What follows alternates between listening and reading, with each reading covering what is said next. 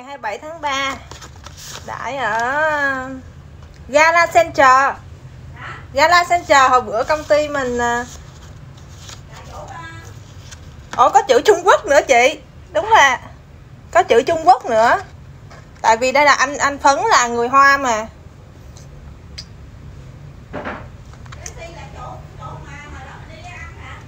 Dạ Gali Center, công ty mình đi ăn mấy lần luôn rồi đó.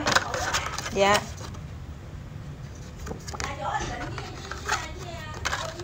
Đúng rồi luôn, đúng luôn chị không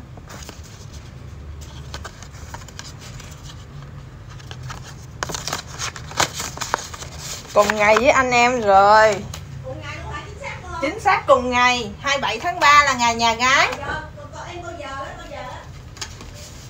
Buổi ờ, buổi tối thôi 6 giờ tối nè. Anh em bữa đó là nhà gái Đi xuống nhà gái. Còn ờ, còn hôm sau là với nhà trai là ngày 28 Ủa, hai ngày luôn. Tổ chức À, hai. à,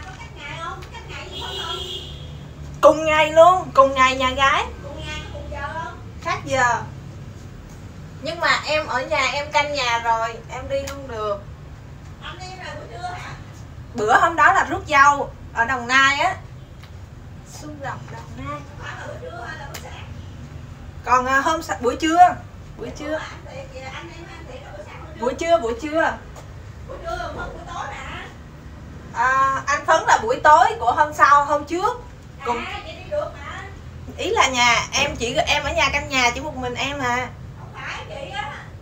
À bữa bữa tối bữa tối đó là tiệc trà. Bữa sau á hả? Bữa sau là trưa chị không cùng ngày. Thì dung muốn đi ăn Không cùng ngày phải không? không cùng ngày Cùng ngày vẫn phải không? dạ đúng rồi Đi được. nhưng mà chị dung ăn hai lần vậy thì tốn tiền quá. Chị dung vẫn thích đi ăn hả? Anh em thôi mà.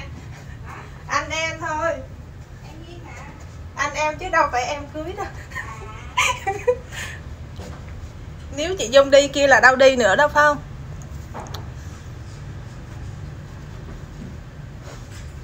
sao chị để cho chị ghi nợ ghi nợ chị dung có cái gì đâu mà mời ghi nợ